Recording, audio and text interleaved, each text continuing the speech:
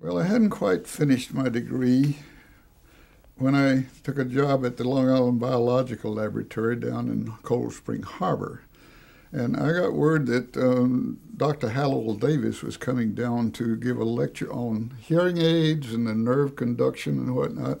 So I invited Dr. Bedell, my professor from Cornell, to come down for two weeks for that mm-hmm. conference, which he did.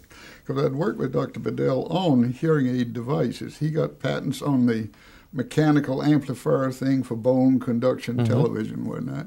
So I knew he was interested in hearing devices and I've got one of these two hearing aids on both sides.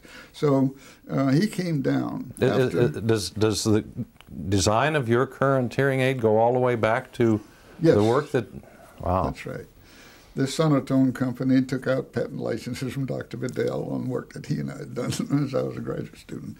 Anyway, um, he came down and he saw my work because I had been completing my experimental work on my thesis project with microwaves at um, the Long Island Biological Laboratory in Cold Spring Harbor.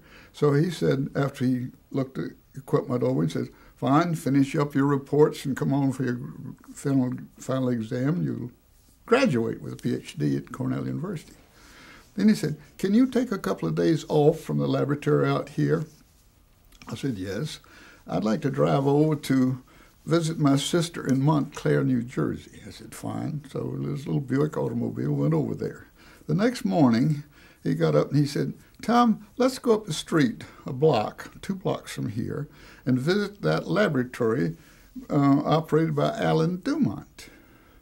So we did. We walked in there, and I told him about my paper that I'd published already had by you, that time. Had you heard or met, heard of or met uh, uh, Allen DuMont. Allen DuMont. I had never met him. Never. Had you heard of him? I had heard of him because we bought a cathode ray tube from him, which had high vacuum, and later on that oscillograph I built at Cornell had deflection plates to swing the beams around.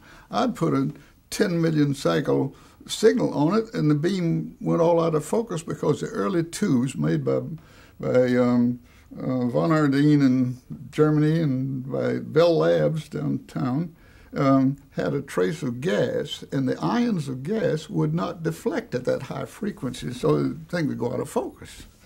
So we had asked Allen DuMont to build a high vacuum tube for us.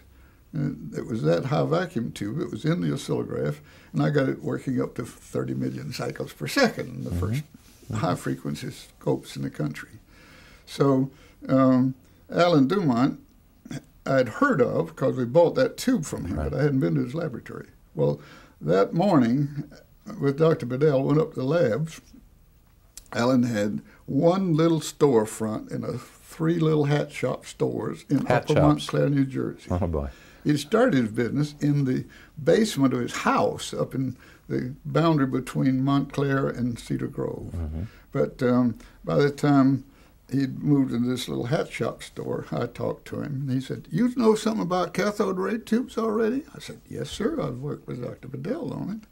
So he said, "When can you start working here?" This was in June. I hadn't quite finished my thesis yet. So I said, "How about November first of 1936?" Still so in the Depression. I showed up at at Montclair to start working with him at that time.